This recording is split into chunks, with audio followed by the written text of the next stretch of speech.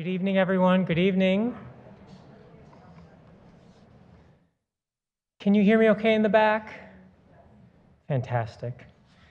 Smith College acknowledges and appreciates that the space in which we gather today is built within Nonotuck ancestral homelands. We recognize our present day neighboring indigenous nations, the Nipmuc and the Wampanoag to the east, the Mohegan, Pequot, and Narragansett to the south, the Mohican and the Mohawk to the west, and the Abenaki to the north. Finally, we acknowledge and celebrate the presence of Indigenous people here among us today. My name is Tim Johnson. I'm the director of the Botanic Garden of Smith College, and I'm thrilled to be back in this room with you all after two and a half years without having an in person opening lecture.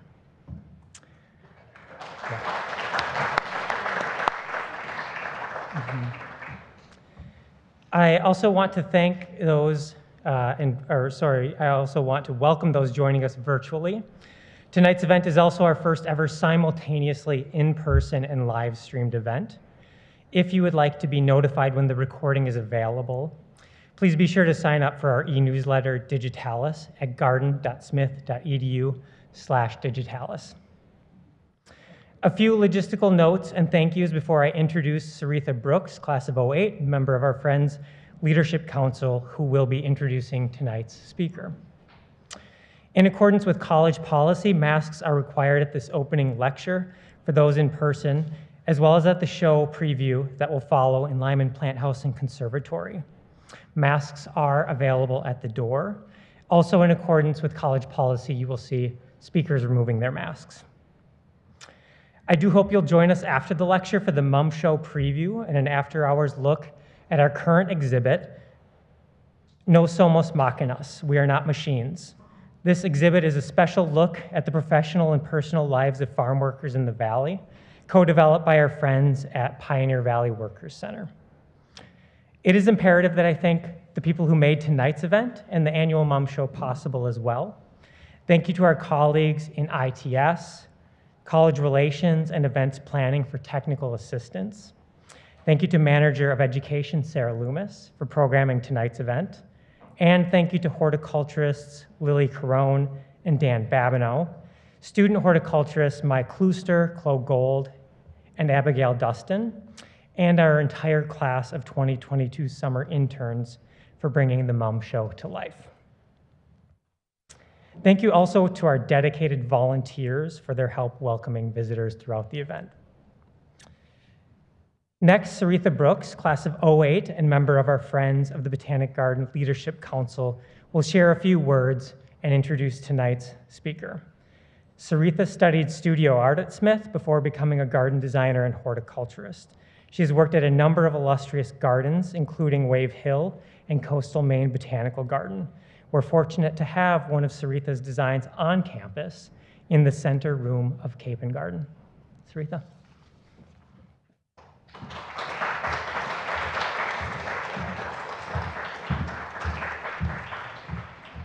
Good evening, everyone, and thank you, Tim, for that introduction. I'm honored to be here to welcome tonight's speaker, to acknowledge and thank the Friends of the Botanic Garden, and represent the Friends of the Botanic Garden Leadership Council. The Leadership Council is a group of faithful alums whose purpose is to amplify the impact of the Botanic Garden through service, advocacy, networking, and philanthropy, and to serve as thought partners for the Botanic Garden Director. For 30 years, the Garden's membership program, the Friends of the Botanic Garden, has supported the Botanic Garden of Smith College's student experiences.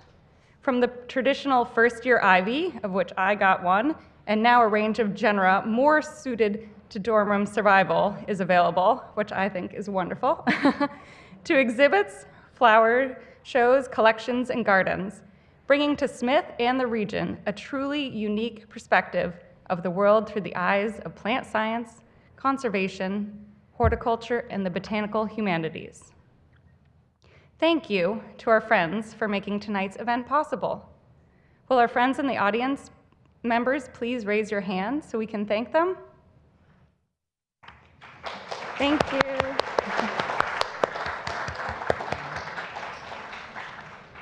Thank you so much for your support. We are in our November membership drive, if you value tonight's event, if you enjoy the unique exhibits the Botanic Garden produces, if you believe in the power of plants, I ask that you join me in supporting the Botanic Garden by becoming a friend today. You can sign up at the front desk in Lyman after the show or visit garden.smith.edu forward slash friends to join online. Now, I am thrilled to introduce tonight's speaker, Dr. Marge Bruchac. Dr. Margaret M. Bruchac Abenaki, in her multimodal career as a performer, ethnographer, historian, and museum consultant, has long been committed to critical analyses of colonial histories and recoveries of indigenous histories. At the University of Pennsylvania, Dr. Bruchac is an associate professor of anthropology, coordinator of Native American and Indigenous Studies, and associate faculty in the Penn Cultural Heritage Center. She also directs the Wampum Trail, a restorative research project designed to reconnect wampum belts with, in museum collections with their related indigenous communities. She has long served as a consultant to New England museums, including Historic Deerfield, Historic Northampton, the Pocumtuck Valley Memorial Association, and Old Sturbridge Village. Her 2018 book, Savage Kin Indigenous Informants and American Anthropologists, University of Arizona Press, won the inaugural Council for Museum Anthropology Book Award. Dr. Bruchac earned her PhD and master's from UMass and is a Smith College graduate. Additionally, her research, insights, and willingness to answer an inquisitive email once in a while has been greatly appreciated and hugely influential for the Botanic Garden staff. Please join me in welcoming Dr. Bruchac.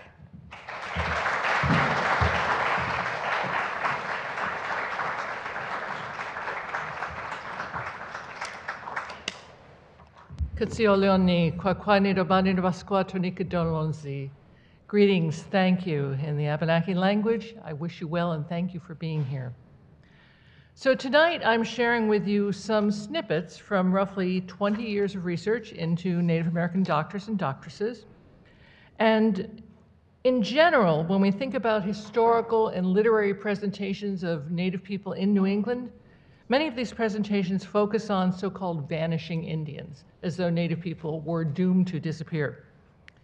And yet, a considerable number of Native people were highly visible in these towns throughout the 19th century and into the 20th century, and still are visible today.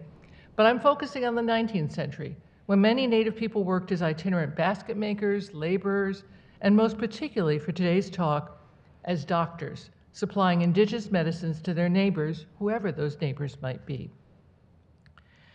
Now, let's take a short walk through this time period to meet some of these historical Indian doctors and doctresses. And I'll start with this image of a lone basket maker, because this is how Native people are usually seen, as though they are wandering through the wilderness. But I love these images to get a little more to the point. These are two cartes de visite of a woman known as Molly Molasses, or Molly Balassi, who is Penobscot, who is regarded as a powerful medicine woman and healer. And she also, as you may notice, crossed fashion boundaries by displaying traditional dress, here exemplified in her peaked cap on the left, and her everyday dress, the fancy top hat, on the right. And I found that a number of these Indian doctors and doctresses really like to appropriate non-native images of, let us say, status, like top hats. Now, some indigenous healers were willing to share information about their medicinal remedies, but many of them were rather secretive. One, for example, is Pequawket Abenaki Indian doctress Molly Ockett. In 1807, Henry Tufts described her as follows My kind doctress visited me daily, bringing new medicinal supplies. Frequently was I inquisitive with Molly, with old Phillips, with Sabatis, and with other professed doctors to learn the names and natures of their medicines. But in general, although they were explicit in communication, still I knew them in possession of secrets they cared not to reveal. Now, one of the testimonies to Ockett's skill was recorded in 1800 when she and her extended family were camped near Troy, Vermont. This is old Abenaki territory. A severe bout of dysentery broke out among the white families living nearby, and no remedies were helping. Molly provided a remedy, but she refused to divulge the ingredients of her preparation. The following winter, when a Mr. Elkins was traveling and found Molly on the road, starving quite literally, he agreed to share his supplies with her, and she was so grateful that she shared with him the nature of some of her remedies, including how she cured those folks of dysentery using a decoction from the inner bark of spruce. Now, Indian doctors and doctresses provided a very important alternative to quote unquote modern medicine, which in the 19th century was primarily bleeding, blistering, purging, poisoning, and liberal doses of mercury compounds. There's a reason they call it practicing. Now, indigenous medicine, in dramatic contrast, was inexpensive, holistic, and far safer. It rested upon intimate understandings of the relations among specific illnesses, foods, plants, and ecosystems. And one of the most popular native plants was sassafras. Now, colonial settlers recognized the value of indigenous botanics, and one of the earliest that was shipped in large quantities from New England to Europe was sassafras, a blood tonic used in the early spring. In 1698, Gabriel Thomas wrote from Virginia, quote, there are many curious and excellent physical wild herbs, roots, and drugs of great virtue, and very sanative, such as sassafras and sarsaparilla, so much used by the Indians, which makes them, by a right application of these plants, as able doctors and surgeons as any in Europe. Rather high praise indeed. Now, European folk remedies were, of course, carried to the Americas by European colonists, but their efficacy and safety varied dramatically with the skill of the practitioner. Some plants, like lady slipper or moccasin flower, shown here, were accepted because they, in some ways, duplicated the properties of known European plants. In this case, lady slipper was also known as Mer American valerian. Now, in rural communities, white, black, and Native women alike would readily turn to an Indian doctress for their ability to ease female complaints and lessen the risk of childbearing through the use of blue cohosh, trillium, raspberry leaves, bloodroot, wild ginger, and other herbs. And many of these herbs commonly and somewhat pejoratively came to be called by Yankees by the names of squaw vine, squaw root, squaw bush, etc., which indicated something that was used by Native women specifically for female problems. Now, Western Massachusetts was home to several quite famous Indian doctors Two of the best known from the late 1700s through the early 1800s were the Mohicans Zebulon Fuller and his sister Rhoda Rhoades. They traveled a regular circuit on horseback from their home in Indian Hollow, shown here, to the towns of Hartford and Windsor, Connecticut, and on to Westfield, Springfield, and even Northampton, Massachusetts. Their neighbors recalled that Zebulon and Rhoda sometimes were in the homes of patients and remained with them, and they also sometimes brought people to their own homes and treated them there. Rhoda employed local women as cooks to prepare indigenous foods, leaning heavily on corn, beans, squash, and venison. And visitors who lodged in her home often spoke quite highly of her recipes. One of her most frequent visitors was Reverend Warner from Springfield, who first came to stay with Rhoda while he was a theological student after being poisoned with mercury by a Springfield doctor. On the first visit, he stayed with her for a week, on the next, he stayed all winter, and ever after, he came frequently for a few weeks during the summer to be cured of whatever city living did to him. Now, in the 1830s, Rhoda's brother Zebulon was very likely the Indian doctor who was challenged by Dr. Chauncey Brewster of Springfield. And a neighbor recalled, quote, a certain Indian doctor had charge of a patient who did not improve to the satisfaction of friends, and so they called Dr. Brewster as counsel with the others and decided the treatment was not appropriate. The diagnosis of the case and directions for treatment were written out in the Latin language, and the friends were directed to lay the papers before the Indian and ask his opinion. When the Indian came to see his patient, the papers were presented to him. The Indian turned the guns upon his enemies, so to speak, wrote out in the Indian language directions for the white doctors to follow, and quietly bade them goodbye. With the shrewdness of the joke, all were pleased. The patient, of course, recovered. Now, this life size diorama from an exhibit we created for Old Sturbridge Village several years ago depicts Rhoda's home as it was described in 1836 by a Brookfield printer named Homer Merriam of Merriam and Webster fame. Merriam wrote that out of desperation, he, quote, decided to try the skills of an Indian doctress to cure his chronic dyspepsia. He was, he was served with many different remedies, and he lodged for a full month with Rhoda, whom he praised as having a good knowledge of roots and herbs and their medicinal properties and a good degree of skill in the use of them. He also described her house. Quote, One room was used as a storeroom only, and the other rooms were the kitchen, parlor, and the old lady's bedroom all combined into one. The visitors, of which there were often several, slept in the attic. Her son gathered roots and herbs for her and prepared them, and she had quite a reputation in the country round in the name of having cured or helped a good many sick people. In fact, one of her neighbors, Deacon Ellis, recalled Old Rhoda could cure anyone outside of the grave and even those who had lain in it only a little while. Now, Myron Munson, while interviewing town residents who remembered Rhoda, was told of one incident when, quote, a little girl suffered an attack of nasal hemorrhage. Physicians were summoned, but their efforts were unavailing. Dr. Rhoda was called. Entering the sick room, she looked at the imperiled child and issued the order, Give me a hoe. And then she ran off to a wet spot, dug up some kind of root, and gave it back to the little patient with the bidding to chew it as fast as she could. The flux slackened and soon ceased. The plant she used was Trillium erectum, also known as wake robin, squaw root, Indian balm, birth root, or nosebleed. Rhoda called the red trillium go papoose and the white trillium come papoose for their ability to stop or stimulate uterine bleeding. Now, one of the most efficacious native medicines used by Rhoda and virtually every other Indian doctor is best known by the general name of another Mohican Indian doctor, Joseph Pye, also called Shakuyathquat. C.S. Rafinesque, in his, um, in his publication on herbal remedies, said, the name of Joe Pye is given to Eupatorium purpureum in New England from an Indian of that name who cured typhus with it by a copious perspiration.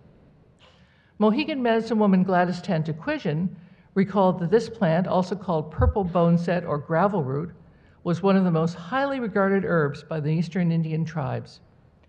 Joe Pyeweed reaches its height of bloom in mid August, the very time when typhoid and other summer fevers run rampant.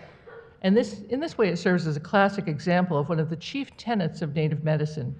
Many of the best cures are often growing fresh where and when they are most needed. Now, Dr. Rhoda used a wide range of medicines, including boneset, goldenrod, sassafras, and multiple other plants. Huntington Town historian Myron Munson described her materia medica as follows. As an apothecary, she gave prominence, let us say preeminence, to plants, flowers, and roots as remedies.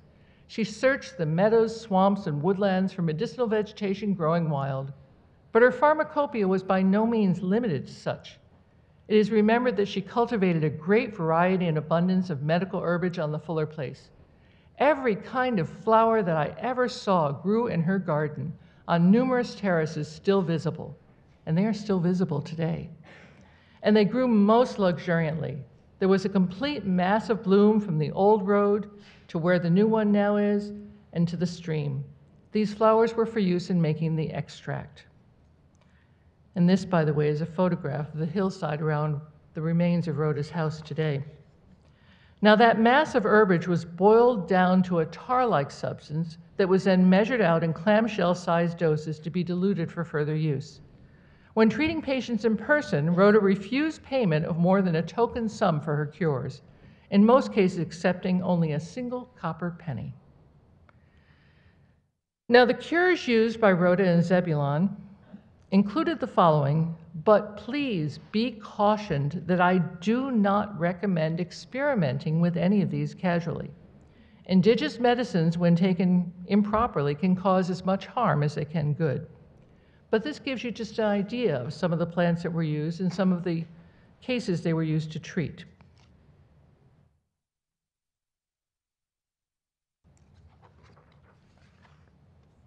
Now, I also, by the way, do not recommend harvesting these plants in the wild, since many of them are now rare or endangered due to habitat loss, wetlands drainage, overharvesting, or other intrusions, including invasive species.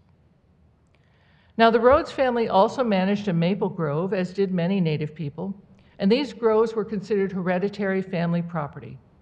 One local observer wrote, About the middle of February is the time when the Indians of Hobbamock and Housatonic, Stockbridge, leave their habitations and go with their families into the woods to make their year's stock of sugar.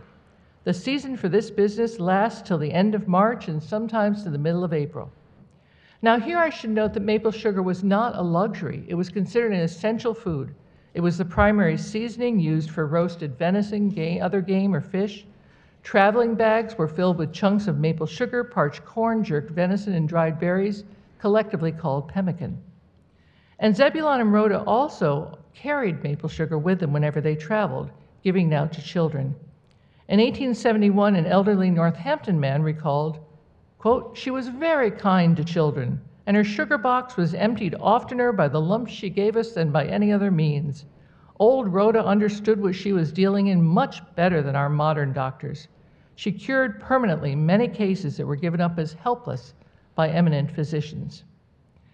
Now, part of why the memory of Rhoda was lost is that, like so many Mohican people, her family left. In fact, they left her behind. Rhoda was so well loved by her white Yankee neighbors that when the rest of the Stockbridge Mohican Indians left western Massachusetts to relocate westward in the 1790s, she stayed in Indian Hollow.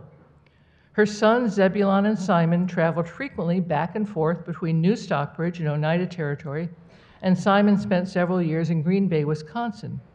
But when Rhoda's health began to fail in her 90s, Simon came back to Indian Hollow to care for her. And the two of them were buried together near the homestead, and a local friend paid for the headstone. When Indian Hollow was flooded to create the Knightville Dam, their graves were relocated to the new cemetery, which is now right beside the high school.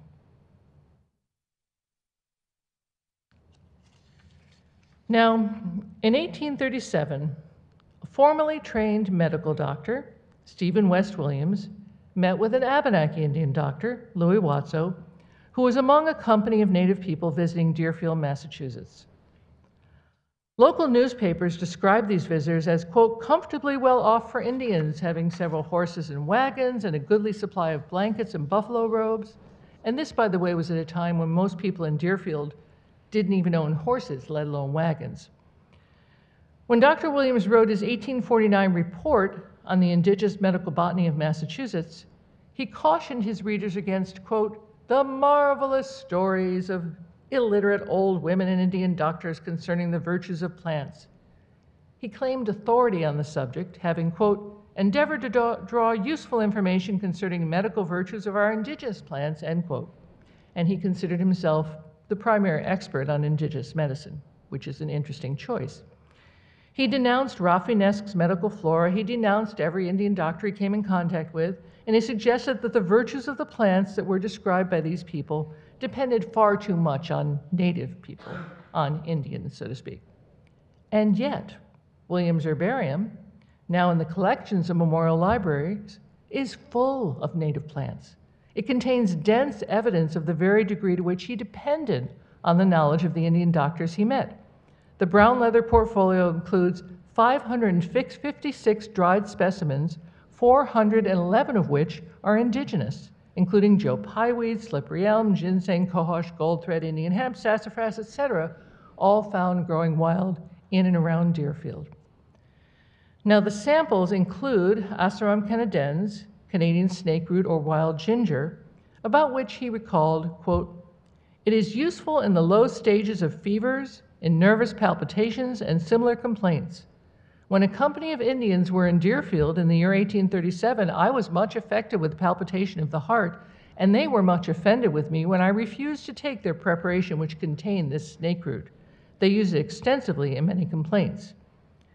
Williams refused the offer of medicine, but he did not hesitate to claim knowledge of the cure, and he also refused to credit Louis Watso with having any scientific knowledge.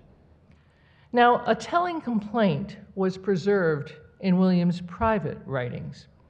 And it reveals the fact that these Indians were not strangers who happened to be just wandering through Deerfield. They were frequent visitors. Quote, with all our improvements, the tendency of the times is downwards instead of upwards. The mass of the people believe more in Indian doctors and astrologers rather than in regular physicians.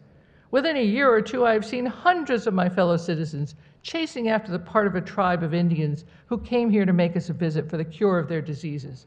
They pretended to be able to cure all diseases by their simple remedies, and the people believed them. The chief of their tribe was called a physician. Now, this complaint is rather telling when we keep in mind that Dr. Williams was one of the founders of the American Medical Association, and his zeal to professionalize the discipline, he resented the competition from his perceived social inferiors. Now, Watso was not the only Indian doctor in the family.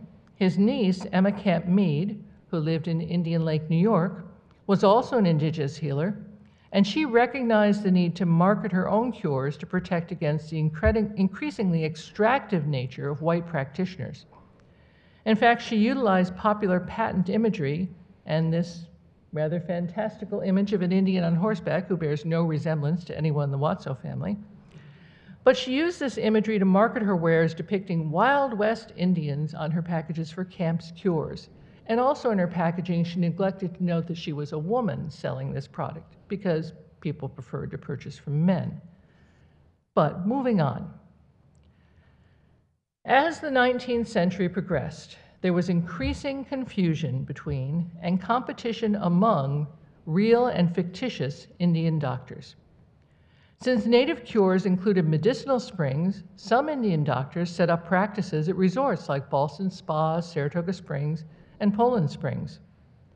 But meanwhile, white doctors, both professional and amateur, rushed to capitalize on the popularity of native medicine with books like The Indian Doctor's Dispensatory or The Indian Physician.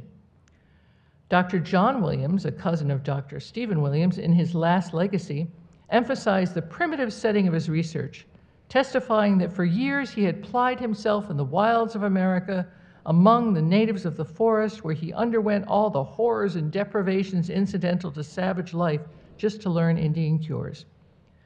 But the problem was, you see, anyone with a printing press could claim to be an Indian doctor. So, for example, a white woman in Boston, a Mrs. M. Gardner, capitalized on native knowledge and on the popularity of Rhoda Rhoades in particular by packaging her medicine under the names Indian Balsam and Indian Doctress and advertising them alongside a strange illustration of a native woman in the Massachusetts Spy newspaper. And so Indian doctors decided they had to publicize themselves. Now, many literally took their show on the road, traveling across New England, making baskets, practicing medicine, and putting on entertainments. When they took to the printed page, people like the Newell family from Penobscot Territory in Maine traveled around Maine, Massachusetts, and New Hampshire selling baskets and performing in addition to Indian doctoring. And incidentally, when I first found this image at the American Antiquarian Society, people said, oh, of course, this is not a native person advertising. This is some white man trying to capitalize on native medicine. But in fact, the Newell family is quite well known. And um, one of the interesting complaints, as you can see in the poster itself, a white doctor says that his medicines cure all diseases, but Dr. Newell does not believe it. For there are many white doctors who say they learn from the Indian doctors the art of doctoring in the Indian way, when in fact they know nothing about it. They advertise largely what they can do and put on the Indian name, but when called on for a trial, it is found they are very different from the genuine Indian doctor, and that their seeming knowledge is nothing but false pretense. Now, it should be noted that some Indian doctors also competed with each other. At Great Falls, New Hampshire, Susan Newell, who was the sister of the man who designed this poster, was absolutely indignant to discover that an unscrupulous printer had replaced her name with the name of her brothers, who hoped to capitalize on her reputation. And then there was Samuel Thomson, a self described poor, illiterate farmer who claimed to have independently discovered the secrets of botanical medicine. He also admitted to having learned some of his skill from an unnamed Abenaki Indian doctor somewhere in Vermont. Nonetheless, he claims sole copyright for the use of lobelia, the plant he is shown holding in this plate. It has been said by Dr. Thacher that lobelia was employed by the Aborigines and by those who deal in Indian remedies and others who attempt to rob me of the credit for its discovery. they cannot produce a single instance of its having been employed as medicine until I made use of it. It's an odd thing to state since lobelia was also commonly known as Indian tobacco, and it was widely used by native people in smoking mixtures and well documented. The variety called Lobelia syphiliticum, in fact, was regarded as another important cure for the so called French disease, syphilis, which of course the French called the English disease. Lobelia was also used in water cures, particularly steam bathing with hot water and sweating herbs. That practice was inspired in part by the Algonquian Indian sweat bath used by Native people for spiritual as well as physical healing. In fact, most of Thomson's Materia Medica consists of indigenous plants that were widely used by Native healers. A glance at his classification of remedies includes the following.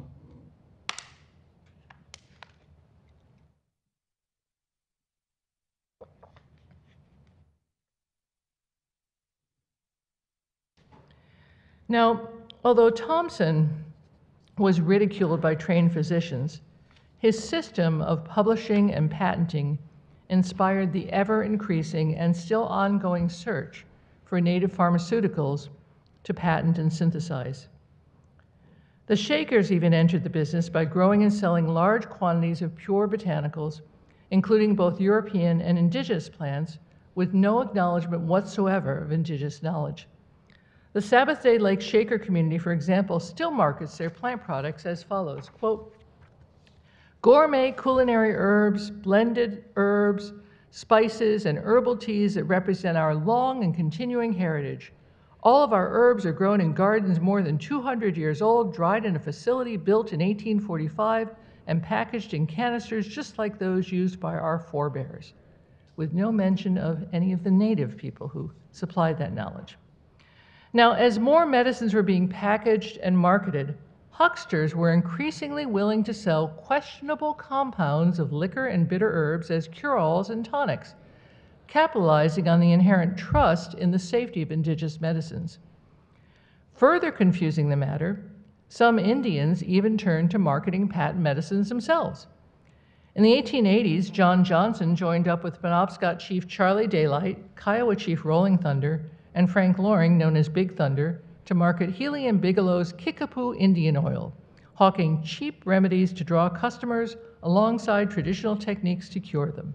And of course, none of these native people were actually Kickapoo, but the name had a certain ring about it that seemed to shout exotic. One newspaper reporter observed, Kickapoo Indian oil, Kickapoo Indian sagwa, Kickapoo cough cure, and Kickapoo worm remedy were standard products of the company inasmuch as the contents could be mixed and bottled backstage for about seven cents each, and the dollars taken in as fast as the bottles could be handed out. The show was something of a gold mine. The stirring eloquence of Dr. Johnson, quite as much as his picturesque character, was an invaluable aid to the show.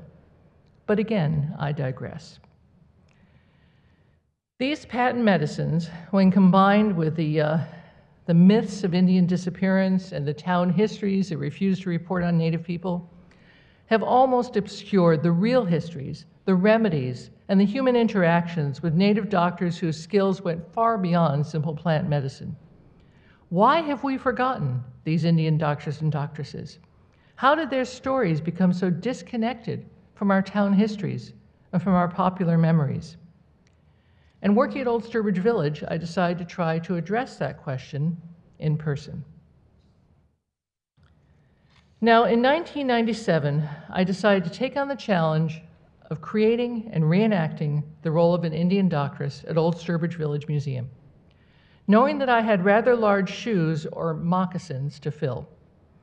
I spent months researching, reconstructing, and creating clothing, props, gestures, and language to create a character that went far beyond a mere costume performance. And I have many, many images like this where it was so easy to replicate the look of these Indian doctresses. I also found along the way, not incidentally, that many of the most famous ones were named Molly, many of them were six feet tall, and many of them had this sort of interesting allure and edge about them at the same time. So it sort of fit.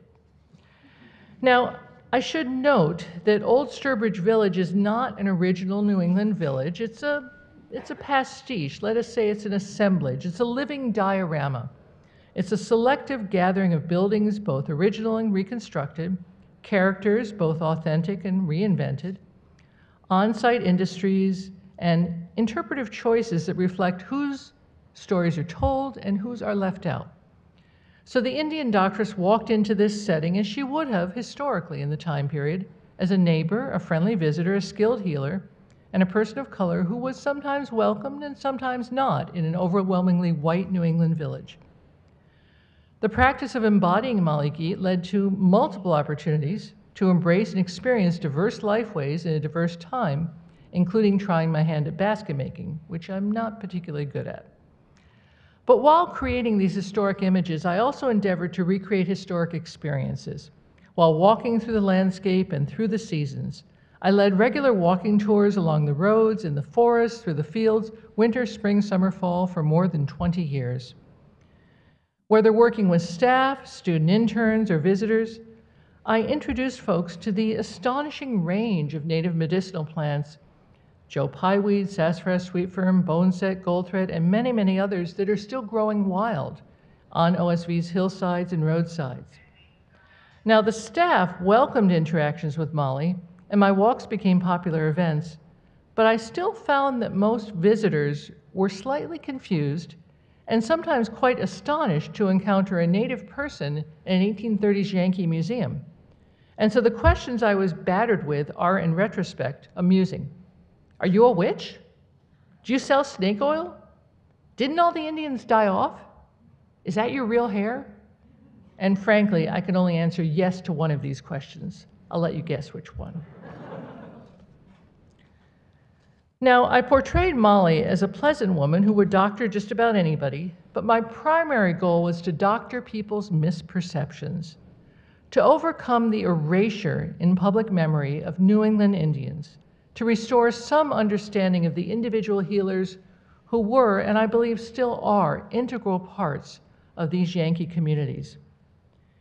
And I quickly realized that my task as an educator, performer, and herbal healer was also to repair the rift between fantasy and reality, to bring the past into contact with the present.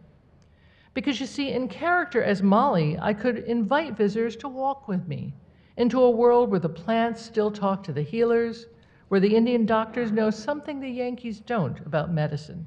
And there's a certain mystery and allure to that. Now, during maple sugaring season at Sturbridge, it was especially effective to have Molly Geet in residence at the small house, cooking and boiling down maple sap to sugar, and of course, telling stories about maple sugaring too. Molly developed quite a command of the kitchen, especially when cooking rabbit, venison, porridge, succotash, Jerusalem artichoke, and many other native foods. In fact, I used to really enjoy Thanksgiving when I would be cooking everything but a turkey. Now, I often had to remind people that wandering was not equivalent to homelessness. Native people in the 19th century exhibited a great deal of autonomy, traveling where and when they chose, despite the prejudices of the time, and many, of course, had their own homes. Native homes were outfitted with native stuff, just as you can see in this life-size diorama at the Mashantucket Pequot Museum. But non-native homes also had a lot of native stuff.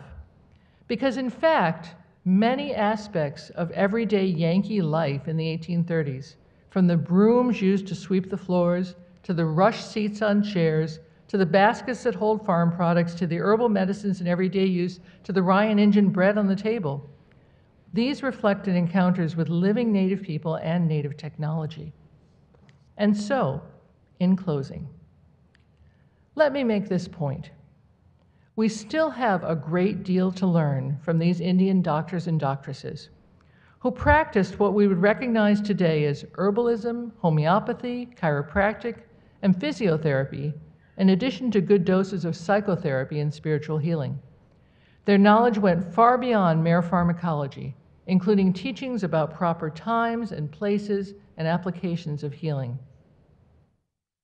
Although Rhoda Rhoades is long gone and Indian Hollow is now empty of residents, her descendants including her five-time great-granddaughter Janet Gerzabowski, shown on the right here at what remains of Rhoda's old home site. These people still remember. And native foodways and medicinal traditions still persist across New England, particularly among those people who sugar in the early spring, gather berries in the summer, harvest and hunt in the fall, and give thanks for every plant, every animal, every creature in every season. And I should also note that many Native communities are also very actively increasing their efforts to protect traditional medicinal knowledge, biological resources, and the endangered ecosystems where these powerful plants once thrived, recognizing these as collective, other than human allies and heritage. By gaining better understanding of indigenous medicines and lifeways, and by recognizing the influence of indigenous people and indigenous knowledges in the past and in the present, we can also work to deconstruct the selective nature of the stories we tell one another about ourselves, about these places, and about the past, and about the future. Katsioliani, thank you. Willie Nanawalamazi, be well. Willie Bumkani, travel well.